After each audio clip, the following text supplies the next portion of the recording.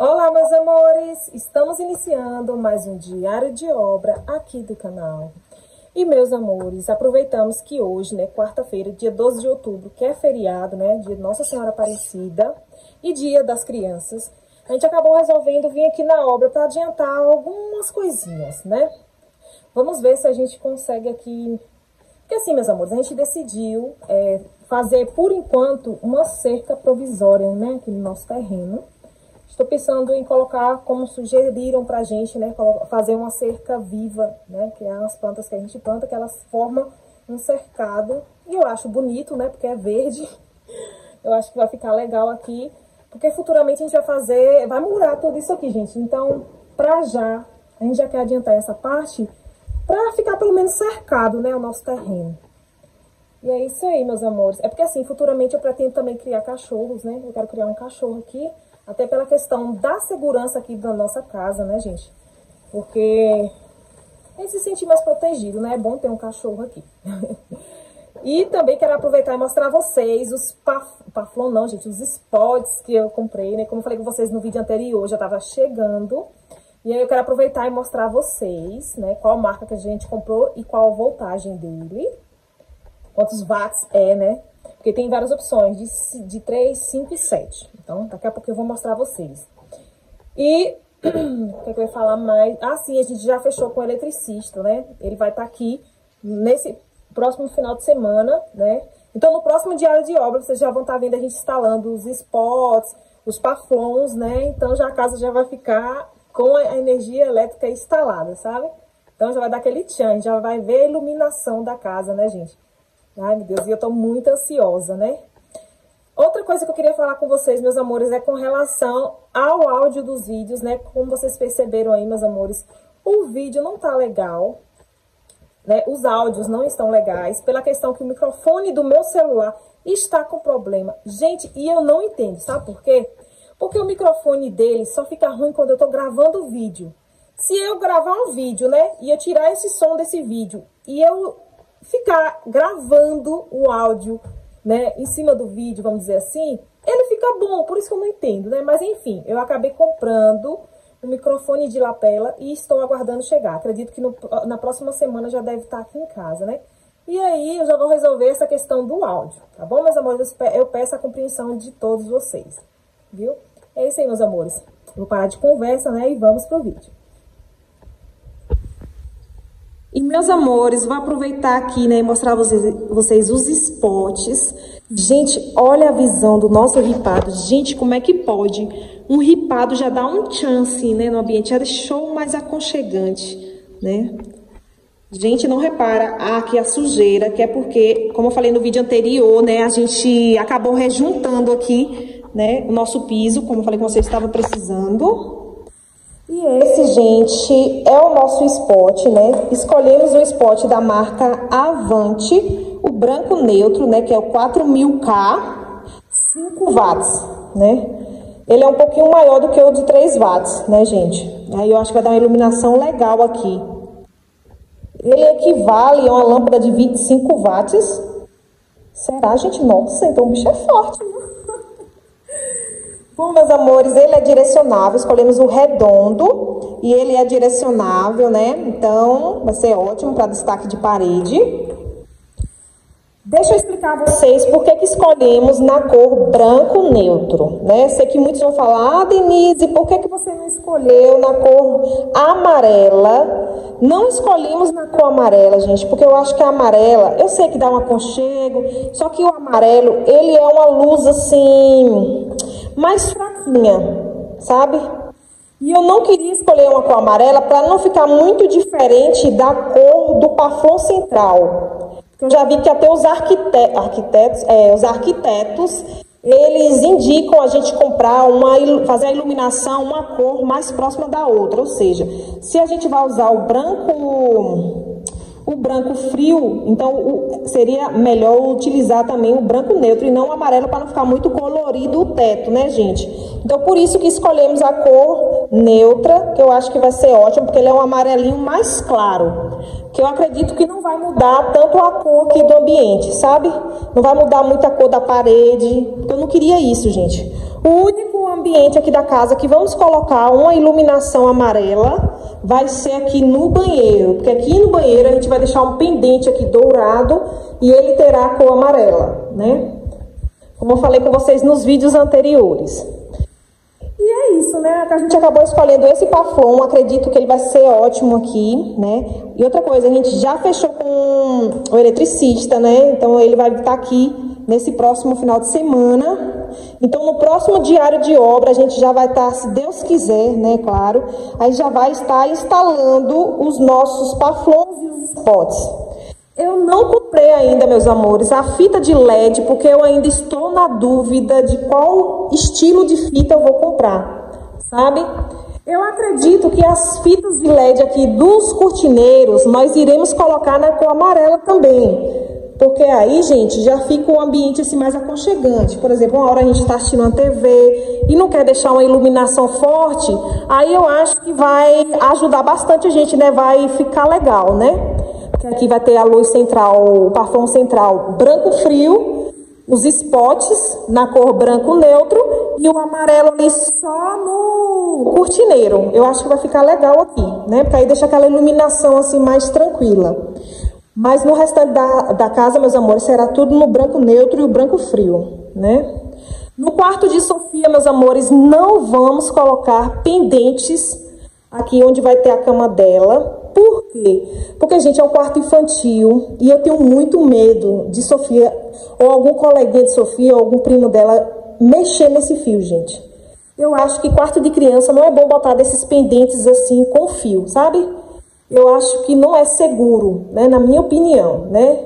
Claro que cada um faz o que quer em sua casa, né? Mas, na minha opinião, eu, minha intuição pede para eu não fazer isso. Então, eu não vou fazer. Vou colocar os spots aqui para dar um destaque na, onde vai ter a cabeceira da cama dela. Aqui eu irei colocar a fita de LED amarela, né? E o paflon central será o branco frio, né? Então, se, você, se Deus quiser, nos próximos vídeos, vocês já verão aqui a gente instalando os paflons, os spots, e aí já vai dar um tchan aqui na casa, né, meus amores? Vocês já vão ver a casa toda iluminada. Aqui, meus amores, precisamos de muita iluminação. Por quê? Aqui, meus amores, é muito cheio de escorpião, cobra, aranha, piolho de cobra, né, que é aquela lacraia. Então, gente, a gente tem que ter uma casa bem iluminada. Por isso que eu fiz essa casa bem clarinha.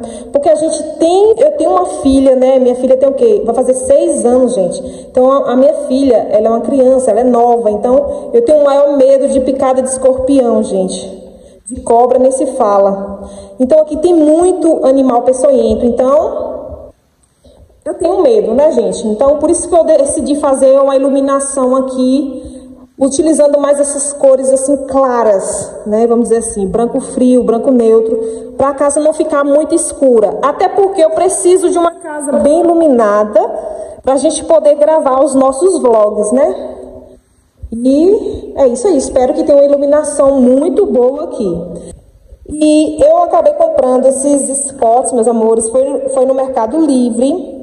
Eu vou deixar aí no, o link, né, de onde eu comprei, né? Tinha o kit lá de 11, aí eu acabei pedindo dois kits, né, que aí ficaram 22. Vai sobrar, aí eu já comprei a mais, porque vai que vem algum com problema, né, gente? Aí eu já comprei a mais para se vier algum com problema, né, já ter outro para substituir, né? E a gente tem que aproveitar que o eletricista vai estar tá aqui, né? Eu, essa semana, a gente já vai comprar também as... É, meu Deus? Os interruptores, apagadores, né? A gente deixou para comprar quando tivesse mais próximo do eletricista vir. Então, acredito que a partir da manhã a gente já vai iniciar a compra, né? desses interruptores, que o bichinho tá é caro, viu, gente? E é isso aí. Só queria explicar para vocês essa questão, né, gente?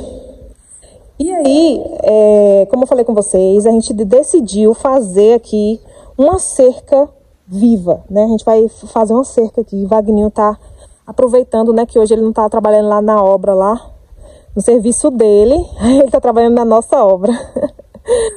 Ali, gente, é onde vai o nosso terreno, tá vendo? Vai dali ali, 19 metros por 42 ou 43, se eu não me engano. Gente, minha memória não é muito boa. Bem que falam que quem tem fibromialgia não tem a memória muito boa. Gente, isso é verídico. Isso é verdade, viu?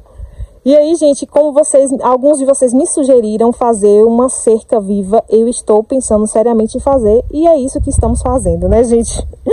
Eu acho que vai ficar legal aqui essa cerca viva. Pra já, né, gente, nem que seja provisório, né? E se a gente gostar até a gente deixa, mas a gente futuramente a gente pretende é, murar, né, gente? A gente pretende murar aqui toda a nossa casa, né? Todo o nosso terreno. E aí, como vai ser um valor assim muito alto, a gente tá deixando para fazer isso mais para frente. Porque como vocês estão vendo, a gente está em fase de de acabamento, gente. Fase de acabamento é ó, dinheiro, dinheiro, dinheiro. Gente, pelo amor de Deus, a fase de acabamento é uma das fases mais complicadas. Complicadas, demorada e mais cara. Mas é assim mesmo, né, gente? Aos poucos a gente vai fazendo as coisinhas.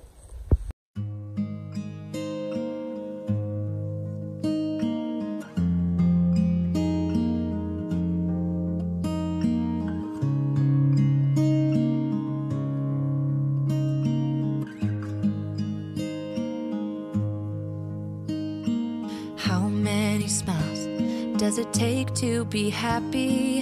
How many times do you have to feel lonely before you get the chance to meet someone? Before you get to meet someone like you? How many songs can you write about heartbreak? How to go on when you're fed up with mistakes? Maybe I just found the answers. Maybe I just found the answers in you.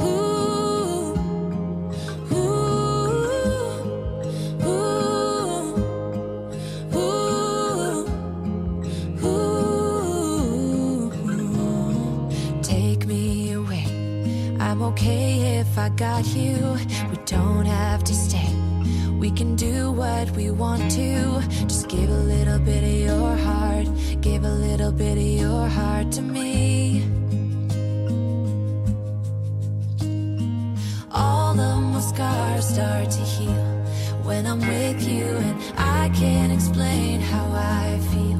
When I'm with you, just give a little bit of your heart, give a little bit of your heart to me. E deu muito trabalho, gente, para tirar é, essas estacas que estavam aqui no terreno, né? Porque antes tinha a plantação de maracujá, né? E como a gente acabou com a plantação de maracujá, a gente acabou retirando agora, né? E aí, gente, olha como já ficou diferente aqui, só depois que tirou essas estacas. E aí, é, a gente já colocou ali, né, o arame, já cercou ao redor aqui com o arame. E aí, o que, que a gente vai fazer, né? Aí, acredito que a próxima etapa será o quê? A gente vai trazer as mudinhas e aí já colocar aqui, gente, ó. Tá vendo? A gente colocou ó, os dois arames, um mais baixo e outro mais alto. mais um no meio. Poder colocar mais um. É, é, talvez, talvez depois a gente vai passar mais um arame no meio, né? A gente vai ver como é que faz. Mas olha, aqui, ó. Aí a gente vai plantar as mudinhas. Não vai dar pra gente fazer hoje porque já é meio-dia e vinte, gente. E a gente tá morrendo de fome. e eu tenho que ir lá pra casa de minha mãe, né? Que Sofia tá esperando a gente lá também pra almoçar. E é isso aí, gente, ó. Então, o nosso terreno, ó. Ele vai daqui, ó. Pra cá. Aqui ainda a gente tem que plantar muita coisa aqui ainda. É, pretendemos fazer um galinheiro também, sabe? Wagner ainda tem que fazer também um tipo um quartinho para guardar as ferramentas dele, né, gente? Porque a gente precisa de ferramentas, né? E tem que ter um local assim afastado da nossa casa, né, para não atrair escorpião. E é isso aí. Wagner só vai colocar umas estacas aqui para fortalecer, né, esse arame. E aí a gente já finaliza essa etapa. Aí depois só trazer as mudinhas, né, e plantar aqui ao redor aqui. Gente, ó, ventania. Meu Deus. Meu Deus, a ventania.